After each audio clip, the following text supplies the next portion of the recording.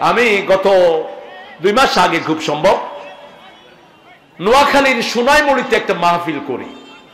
আপনাদের মতো জায়গাটা এরকম কনজাস্টেড ছিল, মানুষ খুব বেশি। তো রাস্তার পাশেই একটা মসজিদ। রাস্তা বড় হচ্ছে, মসজিদটার পাশে একটা কবর, ওই কবরটা ভাঙতে হবে। তো যিনি মাহফিল দিলেন মেম্বার তিনার বাপের ওটা কবর। এখন চিন্তা করলেন, এতদিনে তো একুশ বছর আগে তিনি মারা গেছেন, শুধু হাড় ছাড়া আর কিছুই নাই। কিন্তু কবর খুলে দেখে ওনার জানাজার কাফনটাও পুরান হয়নি। মনে হয় তিনি ঘুমানো। আশেপাশের সমস্ত বড় বড় আলেমরা হাজির। ছেলেকে জিজ্ঞেস করেছে, আপনার আব্বা কি করতেন? ছেলে বলছে, সারাদিন এই মসজিদে বসে থাকতো। সারাদিন জিকির করতো যারা মসজিদকে আবাদ করে, তাদের কবরকে আবাদ করে দিবেন কে? অন্ধকারে যারা মসজিদে যায়, আল্লাহর হাবিব বলেছেন, কেয়ামতের ময়দানে আল্লাহ তাদের জন্য নূরের বাতি দিয়ে দিবে। পাঁচ ওয়াক্ত আর নামাজ ছেড়ে দেব না, রাজি আছি মুসলমান। একটু হাত তুলে আল্লাহকে দেখান। বলেন, হে আল্লাহ! হে আল্লাহ! আপনার নামে ওয়াদা করছি। জীবনে আর কোনদিন ফরজ নামাজ, ফরজ রোজা, ফরজ পর্দা, ফরজ কোরআন মানা ছেড়ে দেব না। আমিন। ইয়ার আব্বাল আলামিন। হাতগুলো নামাই। এখন বলব, সবচেয়ে দাম কোন পয়সা? কোন পয়সা আল্লাহর কাছে সবচেয়ে দামি? বুখারের হাদিস, মা আনফাকালে আয়ালে যেটা আপনার পরিবারের জন্য খরচ করবেন, ওই পয়সার দাম আল্লাহর কাছে সবচেয়ে বেশি। মেয়ে হলে যারা মুখ কালা করো, তোমরা মুরুক্ষ মেয়ে হলে যারা মুখ কালা করে, এদের ভিতরে কাফের খাসলত আছে। কাফেরদের ব্যাপারে আল্লাহ বলছেন বিল উনসা মুসাওয়াদ্দা। কাফেরদেরকে যখন মেয়ের সুসংবাদ দেয়া হতো, তাদের চেহারাটা কালো হয়ে যেত, হুয়া কাজিম। গোসায় সে ফেটে পড়তো। আর মোমেনদেরকে যখন মেয়ের সুসংবাদ দেয়, মেয়েদের চেহারাটা আলোকে উদ্ভাসিত হয়ে ওঠে। কারণ মেয়ে বেশি, যেই ঘরে রহমত বেশি, সেই ঘরে তিনটা মেয়ে, তিনটা মেয়েকে দিনদার বানিয়ে দিনদার ছেলের কাছে দিবেন, রাসুল বললেন, ওই পিতামাতা এইভাবে আমার সাথে জান্নাতে থাকবে। আবার দুইজনের বাপ উঠে বলল, ইয়া রাসুল, আমার তো দুই মেয়ে, কয় তুমিও জান্নাতি? আর একজন উঠে বলল, ইয়া রাসুল্লাহ আমার এক মেয়ে। তিনি বলেছেন, তুমিও জান্নাতি। মেয়ে বেশি যেখানে, রহমত বেশি। মেয়ে বেশি যেই ঘরে, বরকত বেশি। সবচেয়ে বরকতের হলো বিধবা নারী। যেই ঘরে বিধবা নারী আছে, আল্লাহর হাবিব বলেছেন, সবচেয়ে বেশি বরকত সেই ঘরে আছে। আজকে মেয়ে হওয়ার কারণে, বারবার মেয়ে হওয়ার কারণে বউটাকে মারে। বউটাকে অপয়া বলে। বউটাকে বলে, তুই কুলক্ষণা কুলক্ষণা সুলক্ষণা যারা বলে এরা মুশরিক। কুলক্ষণ সুলক্ষণ বলতে ইসলামে কিছুই নাই। আপনি যখন কোন বিপদের আশঙ্কা করবেন, পড়তে হবে ইন্না আলিল্লাহে ইন্না ইলাইহি। আর নাস ফালাক পড়ে ফু দিবেন, আপনাকে হেফাজত করে দিবেন কে? পৃথিবীর কোন শক্তি আপনার কোনো ক্ষতি করতে পারবে? কারণ পৃথিবীতে মানুষকে প্রটোকল দেয়া হয় সামনে আর পিছনে। অন্য চারিদিক থেকে প্রটোকল দেওয়ার কোনো ক্ষমতা মানুষের? যেমন আমি দেখলাম আমেরিকার প্রেসিডেন্ট ডোনাল্ড ট্রাম্প, তিনি নিউ ইয়র্কে আসলেন। তিনার সামনে এক বহর গাড়ি, পিছনে এক বহর গাড়ি। উপরে কিছু নাই সাডেও কিছু নাই। কিন্তু যখন কেউ কুলুয়াল্লা পড়ে, নাচ পড়ে, ফালাক পড়ে, তার উপর থেকে, নিচ থেকে, ডান থেকে বাম থেকে, সামনে থেকে, পিছন থেকে, চারিদিক থেকে আল্লাহ ফেরেস্তা দিয়ে তাকে প্রটোকল দিয়ে দেয়। হাজার হাজার ফেরেস্তা তার প্রটোকলে থাকে। আল্লাহ আকবার। আপনাদের এক একজনের সাথে এখন সত্তর হাজার ফেরেস্তা বসা। সবচেয়ে ছোট্ট ফেরেস্তার সাইজ কদ্দুর। এই তো মুখাস্ত করেছে আলোচনা। কোন পাহাড়? ওহুদ পাহাড়। রাসুল বলেছেন আনা ওহুদ ওহুদ হুব্বুনি আমাকে ভালোবাসে আমি পাহাড়কে ভালোবাসি। আরও আসতে কোন সুবহান আল্লাহ সম্পদের ভিতরে সবচেয়ে দামি সম্পদ হলো নেক নারী। রাসুল বলছেন বোখারের হাদিস আর দুনিয়া মাতাউন খাইরু মাতাউ সালেহা। এই দুনিয়া হলো একটা সামগ্রী, এটার ভিতরে সবচেয়ে দামি সামগ্রী হলো নেককারিনী নারী। নেককারিনী নারীর আলামত হলো চারটি কয়টি? আরও জোরে বলেন কয়টি? দেখলেই মন আনন্দিত হয় এক। দেখলে মন আনন্দিত হয়। দুই নম্বর ডাকলেই কাছে আসে। তিন নম্বর স্বামী না থাকলে স্বামীর বিছনায় কাউকে নেয় না। চার নম্বর ওই মেয়ে স্বামীর অগোচরে ঘরে বসে কোরআন পড়ে। হেলো কয় কয় না হেলো ডার্লিং স্বামী নাই তুমি কই? সবচেয়ে বদমাইশ হলো ফেসবুক ঠিক কিনা? যারা একাধিক মেয়ের সাথে সম্পর্ক রেখেছো, তুমি কেয়ামতের ময়দানে লুচ্চা হইয়া কেয়ামতের ময়দানে উঠবা। যে মেয়ে নিজের স্বামীকে ভালো লাগে না, অন্য বেটাকে শুধু ভুসুর ভুসুর করতে ইচ্ছা করে, ওই মেয়ের ভিতরে মুনাফিকি আছে। তুমিও চরিত্রহীনা হিসাবে কেয়ামতের ময়দানে উঠবা। আমার ইসলাম কত সুন্দর। হ্যাঁ বনাবনি হয় না, হতেই পারে। বনাবনি হয় না। যেমন স্বামীর কিছু দোষ আছে, স্বামী স্ত্রীকে সন্তুষ্ট করতে পারে না, এরকম হতেই পারে। সেই ক্ষেত্রে আপনি ডাক্তারের পরামর্শ নিন। মসজিদে শেষ যাবে তোর সব সমস্যা আল্লাহ দূর করে দিবেন। অনেক লোক আছে, ওনাদের স্ত্রী থাকে না। স্ত্রী থাকে না কেন? কেন থাকে না? আল্লাহ তাদেরকে স্ত্রী রাখার যোগ্যতা দান করুন। একটা টর্চ লাইটে ব্যাটারি ঢুকালেন। ব্যাটারি ঢুকিয়ে শুধু টিপলেন। কতক্ষণ যাবে ব্যাটারি? কতক্ষণ? পাঁচ ব্যাটারি, কতক্ষণ যাবে? কিছুক্ষণ পরে শেষ। এই যে ব্যাটারি টিপেন, টিভির সামনে বসে বসা। রিমোট। হাতে মোবাইল নিয়ে টিপেন, টিপতে টিপতে চরিত্র শেষ। যেই যৌবন অক্ষত থাকতো আশি বছর, সেই যৌবন বিশ বছরে শেষ। ঠিক কিনা? জাপানে আজকে বিশ বছরের বুড়া আছে পঁচিশ লাখ। বিশ বছরে বুড়া। ওই যে আবে তাবে টিপে শেষ। আপনার যৌবন আল্লাহর পক্ষ থেকে রহমত, ঠিক না ঠিক? এটা যত্র তত্র আপনি এটাকে অপচয় করতে পারবেন। এটা হলো সবচেয়ে দামি সম্পদ। রাসুল সাল্লাম বলেছেন যে ছেলে মেয়েরা পারিবারিক বন্ধনের কাজ প্রকাশ্যে করে, কেয়ামতের ময়দানে তাদের শাস্তি হবে সবচেয়ে বেশি। সবচেয়ে টিভি চ্যানেলগুলো নাচ দেখাও, ঘেন্টা নাচ, বাজে জিনিস দেখাও, তোমাদের শাস্তি হবে সবচেয়ে বেশি। আর যে মেয়েরা যে ছেলেরা এগুলোতে অংশগ্রহণ করে, তাদের শাস্তি কেয়ামতে সবচেয়ে বেশি দিবেন কে? কে দিবেন? রাসুল মেয়েরা যে দেখলেন একটা চুলা। চুলা বলে তো আপনাদের ওই। যে বড় যেগুলোতে ধান গরম করে ওইগুলোতে কি করে? রস গরম করে। চুলা।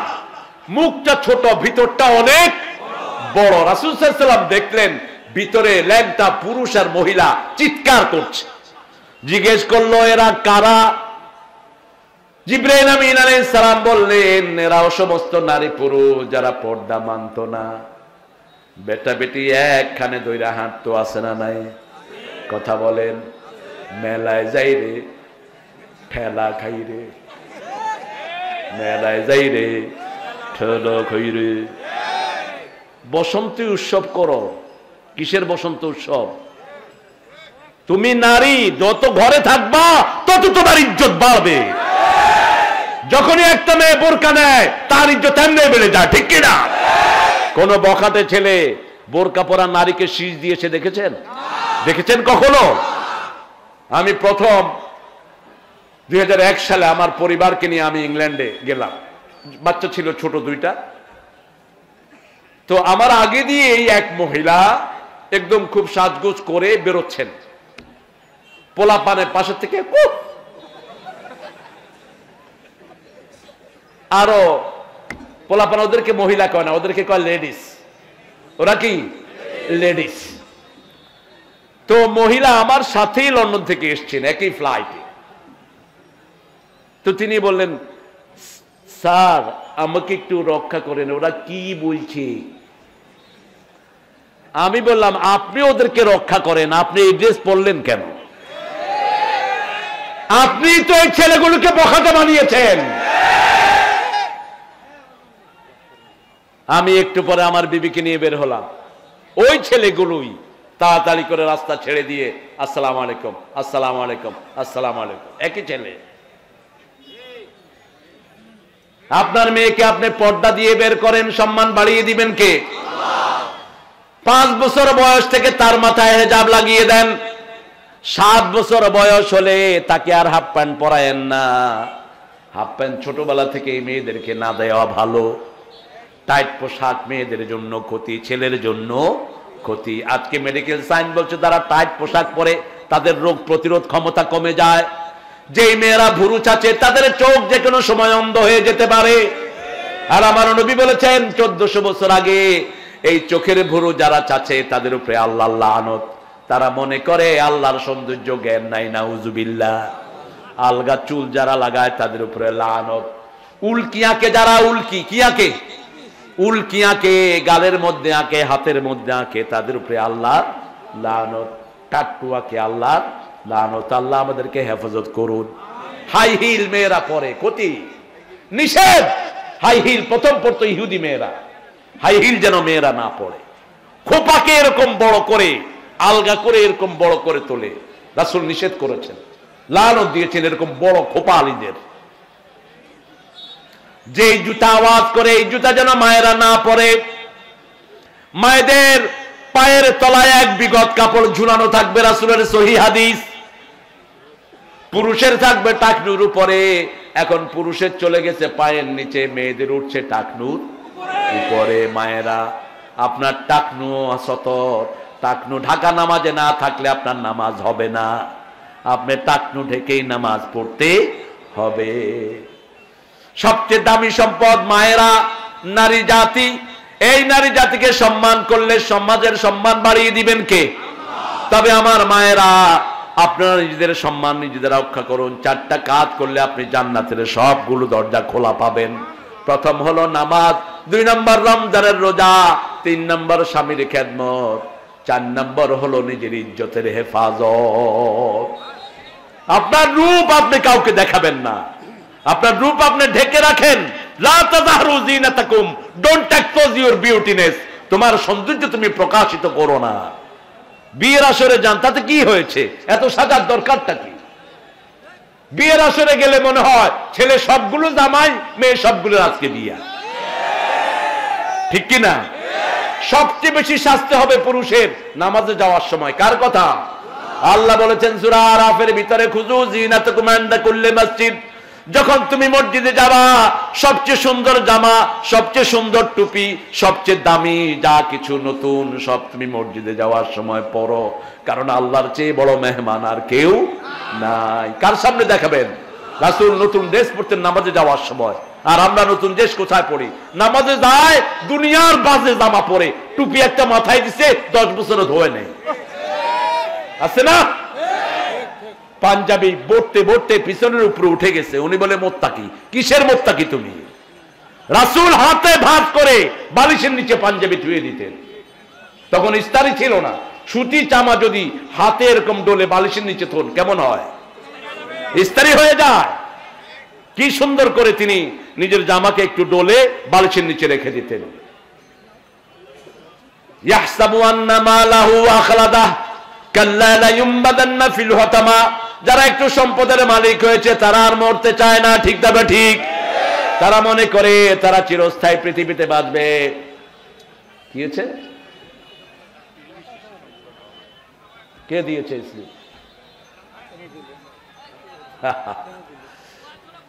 পৃথিবীর সৃষ্টি। এই সম্পর্কে ধারণা তো আল্লাহ কোরআনে দিয়েছেন। পৃথিবীর প্রথম মানুষকে। জোরে বলেন। আদম আলাইহিস সালাম। ধরা হয় সাড়ে তিন থেকে চার হাজার বছর আগে তিনি পৃথিবীতে এসেছেন। কিন্তু আজকের বিজ্ঞান ডাইনোসরের যে হিসাব দেয়, এগুলোর সাথে হাদিসের কোনো মিল হয় না। মিল নেই। আন্দাজে একটা হিসাব দিয়ে দিল, ট্রিলিয়ন ট্রিলিয়ন বছর আগে হইয়াছে। এটা থেকে অনেকটা এরকম ধরা যায়। যেমন মোল্লা জিউন ছিলেন ভারতে খুব বড় আলেম। আকবরের সভাসদে তিনি না থাকলে আকবর অনেক কিছু ইসলামের বিরুদ্ধে আরও করে ফেলতেন। আকবর অত্যন্ত নষ্ট ছিল। ইসলামকে ধ্বংস করেছে আকবর। অনেক কাজে বাজে কাজ করেছে সে। মানুষকে মাটি দিত না, বলছে ভাষায় আদাও, কারণ মাটি দিলে কবরে আজাব হবে। তা আকবরের সভাসদে মোল্লা আলী কারি ছিলেন খুব জ্ঞানী। একবার হিন্দু ঠাকুররা বলল, মোল্লার কোনো জ্ঞান নাই। দেখি মোল্লার ইন্টারভিউ নেব। বলল, মোল্লা সাহেব, আপনি তো অনেক বড় আলেম, বলেন তো দিল্লিতে কাউয়া কতটা? তিনি বললেন, দশ লাখ তিন হাজার বিশটা। কয়, যদি বেশি হয়, বুঝবা বেড়াইতে আসছে। আর যদি কম হয়, বেড়াইতেও গেছে। ঠেলা ঠেলির কোনো দরকার? আকবরকে বুঝালো, মোল্লার কোন এলেম কালাম নাই, আমরা এলেমের জাহাজ। আমাদের দেশেও তো অনেকে এরকম বর্ণনা করে, ঠিক কিনা? মানুষ হয় না তিনজন, উনি এলেমের জাহাজ। বুঝলাম আপনি এলেমের জাহাজ, কিন্তু সেটা আপনি বলবেন না, সেটা মানুষ বলবে, ঠিক কিনা আপনি নিজেকে ছোট করে রাখেন, তাহলে বড় করে দিবেন কে? কখনো কোন নবী বলেন নেই আমারই চিনস। যে বলবে আমারই চিনস, ও অহংকারী বেয়াদ তোকে চিনতে হবে কেন? তোকে চিনার দরকারটা কি? চিনব কাকে? কাকে চিনব? আল্লাহকে চিনব। মোল্লার ব্যাপারে শিয়ারা আকবরকে বুঝালেন, মোল্লার কোনো জ্ঞান নাই। মোল্লা বারো গজ পাগলি, মাথায় দিয়া পোলাপান চার চারের পিছন দিয়ে কইছে, পাগলি ধরতে ধরতে আয়। এই পাগলি খুইলা মোল্লা কইছে, আমার এই যে স্যান্ডেলটা আছে, এই স্যান্ডেল পাগলিতে বাঁধ। স্যান্ডেল এত পচা কুত্তাও নিবে না। এখন এই পচা স্যান্ডেলে যখন সাদা পাগড়ি পাচানো হচ্ছে, সবাই কয়, এই মোল্লা, করো কি করো কি করো কি? এই স্যান্ডেল এমনি থুলে তো কেউ নিবে না। কয় না, আমি কোরআন শরীফে পেয়েছি, শিয়ারা চোর হয়। শিয়ারা কয়, কোরআন শরীফে আমাদের নামে কোনো আয়াত নাই, কোথায় পাইছো? কয়, হাদিসে পাইছি। কয়, কোন হাদিসে আমাদের কোনো কথা নাই। কয়, ফেকায় পাইছি, কয়, ফেকায়ও নাই। এবার মোল্লা ঘুরে দাঁড়াল। কোরআনে নাই, হাদিসে নাই, ফেকায় নাই, তোমরা আইসো করতে করতে আইসো তোমরা, আকবর সাহেব বার করে দেন। আমি মোল্লা যা বলব কোরআনে আছে না নাই? নামাজের কথা কোরআনে আছে না নাই? ইসলামের কথা কোরআনে আছে না নাই? বিবি মোহরানার কথা আছে না নাই? প্রতিবেশীর হক আদায় করার কথা আছে না নাই? অল্প সময়ের জন্য কারও প্রতিবেশী আপনি রিক্সায় কোথাও যাচ্ছেন, তারও আপনি খবর নিবেন সুযোগ সুবিধা জিজ্ঞেস করবেন, মুখ বন্ধ করে থাকবেন না। তাহলে কেমতের ময়দানে তিনি আপনাকে আসামি বানাতে পারবেন না। দেখা যাবে আপনার অল্প কয়েক মিনিটের দাওয়াতে তিনি কালেমা পড়ে মুসলমান হয়ে গেছে। অথবা আপনি তাকে উঠতে, উঠা, উঠে নিজে বসার জায়গা দিলেন, লোকটার ভিতরে পরিবর্তন আসতে পারে। যেমন রাসুলসাল্লাম মক্কায় আসলেন। মক্কায় আসার পর তিনি মক্কা শহর দেখছেন। আহারে, এই যে মধ্যখানে দাঁড়িয়েছে ওই যে পিছনের বাবারা দেখছে না। তিনি মক্কায় মাগরিবের পরে বেরিয়েছেন। দেখতেন একজন বৃদ্ধা মহিলা, একটা বোঝা ঘাড়ে তোলে আর একটা পড়ে যায় আর একটা ঘাড়ে তোলে। রাসুসাল্লাম গিয়ে তার বোঝা উঠানো শুরু করলেন। মহিলা বললেন, তুমি কে? বলছে, আমি মক্কার এক সন্তান। তিনার নাম তিনি বললেন, না বললেন, মা, আপনি কোথায় যাবেন? আপনার বোঝাগুলো আমি আগায় দিয়ে আসব। একটা একটা করে বোঝা মহিলার চুল ঘাড়ে নিয়ে নিলেন। অনেক দূর গেলেন। গিয়ে মহিলা বললেন, বাবা, এখানে আমার বোঝাগুলো রাখো। কোমর থেকে বের করে কিছু পয়সা দিতে গেলেন। আল্লাহর হাবিব বললেন, ইন আজরিয়া ইল্লা আল্লাহ আমি আল্লাহ ছাড়া কারও কাছে কোনো প্রতিদান চাই না সুবাহান আল্লাহ মহিলা অবাক হয়ে গেলেন, তুমি কে গো? এত সুন্দর যুবক তো মক্কায় দেখি না। তুমি কোন যুবক? মানুষের কাজ করো, কিন্তু কোনো পয়সা চাও না। তোমার নাম কি? রাসুসাল্লাম বললেন, মা, আগে বলেন, আপনি এখানে কেন এসেছেন? মহিলা বলছে, এখানে আমি এসেছি মোহাম্মদের ভয়ে। মোহাম্মদ মদিনা থেকে মক্কায় ঢুকেছে, সব কাফের মেরে ফেলবে। সেই ভয়ে আমি এখানে এসেছি। রাসুল সাল্লাম বললেন যে, এই মোহাম্মদের ভয়ে আপনি এখানে এসেছেন। আমি আবদুল্লাহর ছেলে মোহাম্মদ আপনার সামনে দাঁড়ানো। এবার মহিলা বলছেন, এই যদি হয় মোহাম্মদ, আমি পড়ছি ইলাহা ইল্লাল্লাহু মুহাম্মাদুর রাসূলুল্লাহ সাল্লাল্লাহু বড় দামি কথা বলতেন আলী রাদিয়াল্লাহু আনহু। তিনি বলছেন, জ্ঞান অর্জন করো, জ্ঞান তোমারে পাহারা দিবে। আর যদি সম্পদ অর্জন করো, তোমাকে সম্পদ পাহারা দিতে হবে। ঠিক না ঠিক? আপনার পকেটে যদি দশ হাজার টাকা থাকে, রাত্রে টেনশন বেশি না কম। কথা বলেন না কেন? যাদের টাকা যত বেশি, তার টেনশন তত বেশি। গত পরশু দিন শরীয়তপুরে আমার প্রোগ্রাম ছিল। তো আমার প্রোগ্রামে যিনি আমাকে আগায় দিতে আসছিলেন তিনার দেখলাম সামনে কয়েকটা মোটর সাইকেল আঙ্গুলে লাগলে কলিজা পুড়ে মুখ দিয়ে বেরিয়ে আসবে। শুধু আঙ্গুলে নয়, আঙ্গুলে লাগলেই কলিজায় ছেক লেগে যাবে। জাহান্নামীদের সবচেয়ে কম শাস্তি, সবচেয়ে কম শাস্তি হলো একটা লোহা আগুনের জুতা তার পায়ের তলায় পরিয়ে দেয়া হবে। রাসুল সাল্লাম বলছেন এই ছোট্ট পাতলা আগুনের জুতার কারণে তার মগজ টেপিয়ে টেপিয়ে না কান্দে, পড়তে থাকবে। আল্লাহ আমাদেরকে জাহান নাম থেকে বাঁচিয়ে হয়রান হয়ে কিসের উপরে বসে আছেন আপনারা? সাইবেরিয়ার কয়েকজন মাটি বৈজ্ঞানিক মাটি খনন করতে করতে চোদ্দ কিলোমিটার নিচে গিয়ে দেখে শুধু চিৎকার আর চিৎকার। শুধু চিৎকার আর চিৎকার। ইন্টারনেটে সেই হিসাব তারা দিয়ে দিয়েছেন। মাটির চোদ্দ থেকে পনেরো মাইল নিচে গেলেই শুধু আগুন আর আগুন। রাসুল বলেছেন, তাহাতা কুল্ল বাহারিন মা, কুল্লু নারিন বাহার, অকুল্ল বাহারিন মা। রাসুল বলেছেন, তাহাতা কুল্ল বাহারিন নার, অকুল্ল নারিন বাহার। প্রত্যেকটা সাগরের নিচে আগুন, আবার আগুনের নিচে সাগর আছে। আজকের বিজ্ঞান পরীক্ষা করে দেখে, সমস্ত সাগরগুলো তলে আগুন, আবার এই সাগরের একটা উপাদান যদি উঠিয়ে নেয়, সাতটা সাগরই জাহান নামে পরিণত হবে। অনেক মুফাসের বলেছেন, সাতটা জাহান্নাম মানে সাতটা মহাসাগর। সাগর কয়টা? কয়টা? সাত সমুদ্র, তেরো নদী। নদী তো তেরোটা না। নদী আমাদের ঠাকুর গায়ে তেরোটার বেশি হবে। এটা একটা আন্দাজে দিয়েছে। কিন্তু মহাসাগর কয়টা? সাতটা মহাসাগর। ওশন আল্লাহ জাল্লা শাহানু এই জন্য বলছেন, হোতামা নামক জায়গাতে তোমাদেরকে একত্রিত করে দেব আমাদ্রা কামাল হোতামা নারুল্লাহিল মুকাদা। আল্লাতী তাত্তালিউ আলাল আফইদা, ইন্নাহা আলাইহিম মুসাদা। এই আগুনটা খোলা হবে না। এই আগুনটা হলো প্রেসার কুকারের মতো। প্রেসার কুকার দেখছেন? সবাই দেখছেন? প্রেসার কুকারে কি দেই আমরা? যেই গোস্ত সিদ্ধ হয় না, ওটাকে আমরা প্রেসার কুকারে দেই। আল্লাহ বলছেন, সম্পদ জোগাড় করে করে। যেই লোকেরা মারা যাবে, ওই প্রেসার কুকারের মতো তার জাহান নামের মধ্যে ঢাকনি দিয়ে দেব।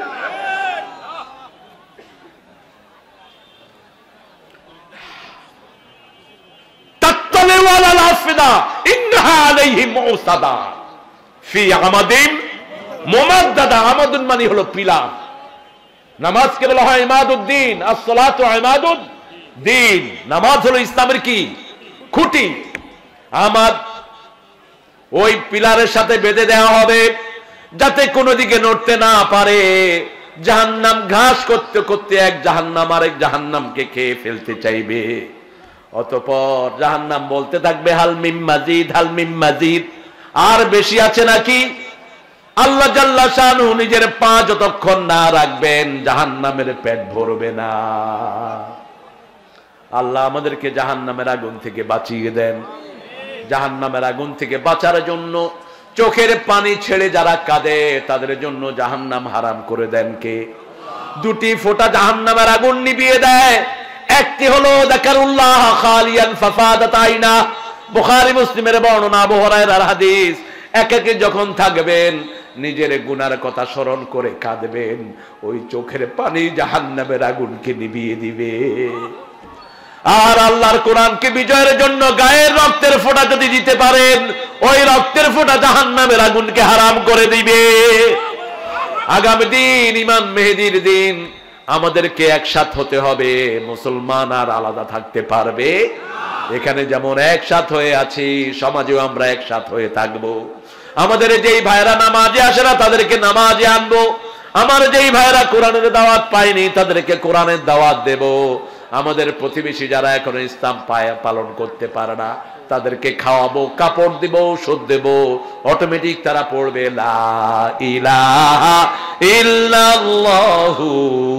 মুহাম্মাদুর রাসূলুল্লাহ সাল্লাল্লাহু আলাইহি ওয়াসাল্লাম। পড়েন, ওয়াইলুল লিকুল্লি হুমাযাতিল লুমাযা আল্লাযী জামাআ মালান প্রথম হলো যারা নিন্দা করে, সামনে এবং পিছনে। দুই নম্বর হলো, যেই নামাজিরা ফজর পরে জোহর ছেড়ে দেয়, জোহর পরে আসর ছেড়ে দেয়, আবার নামাজে কি পড়ে বাহিরে মনে রাখে না। নামাজে পড়ে অনাত্রুকু মাইয়াম জুরুকা যারা অপরাধ করে, তাদের সাথে সম্পর্ক রাখব না। কিন্তু সমাজে এসে মুদ্রার সাথে সম্পর্ক করে, ঠিক না সমাজে এসে চোরের সাথে সম্পর্ক করে। সমাজে এসে ঘুষখোরের সাথে সম্পর্ক করে। সমাজে এসে ক্যাসিনোর লোকদের সাথে সম্পর্ক করে, ঠিক কিনা ঠাকুর গায়ে অবশ্য ক্যাসিনো নাই। হ্যাঁ? বেশি? যারা খেলেছ টাস, তাদের হয়েছে সর্বনাশ। তোর দুনিয়াও শেষ আখেরা তো শেষ। যারা টাস খেলে, এরাই গাঁজা খায়। যারা টাস খেলে, এরাই মদ খায়। যারা মদ খায়, তারাই জিনা করে। এক অপরাধ আরেক অপরাধকে ডেকে নিয়ে আসে, ঠিক কিনা?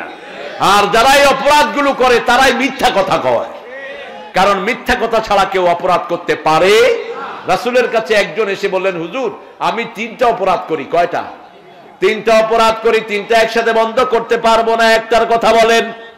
এই দুনিয়ার সর্বশ্রেষ্ঠ ডাক্তার মোহাম্মদ সাল্লাল্লাহু রসুল আমার ভালোবাসা, রসুল আমার আলো আশা, রসুল আমার প্রেম বিরহের মূল আলোচনা। রসুল আমার কাজে, কর্মে অনুপ্রেরণা। রসুল আমার ভালোবাসা, যখন দারুণ দুঃখ নামে আমার জীবনে জুড়ে বিপদ আপদ মুসিবতে মরি পুড়ে পুড়ে, তখন তোমার তখন তোমার শৈশবে কৈশোর যোগায় সান্ত্বনা। রসুল আমার কাজে কর্মে নেতার মতো নেতা যখন পাইনি কোথাও খুঁজে, কাঁদি শুধু, কাঁদি হায়রে এই দুটি চোখে বুঝে, তখন শুধু তখন শুধু মনে পড়ে সোনার মদিনা। রসুল আমার কাজে কর্মে অনুপ্রেরণা। মদিনায় মরতে চাইবেন গুনা মাফ করে দিবেন কে? মদিনার জন্য দোয়া করেছেন মোহাম্মদ সাল্লাল্লাহু রাসূলকে। এসে মানুষ মনের কথা বলতো, আমাদের ইমামদেরকে যতদিন মনের কথা বলবে না, দুনিয়াতে ততদিন ইসলাম আসবে না, ঠিক না বেটি?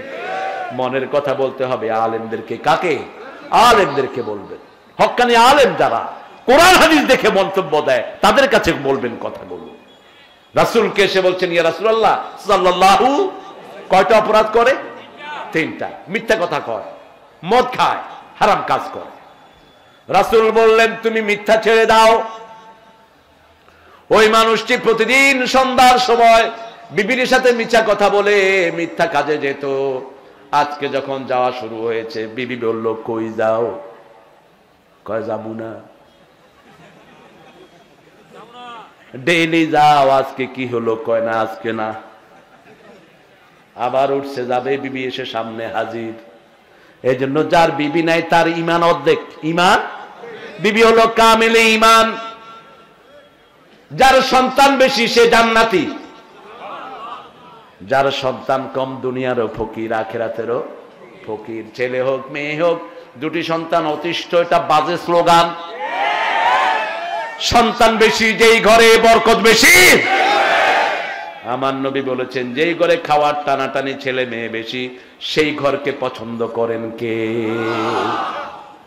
আল্লাহ বলেছেন, অবাস্তা মিন হুমারে জালান কাসিরাও অনিসা। ছেলেও বেশি হোক, মেয়েও।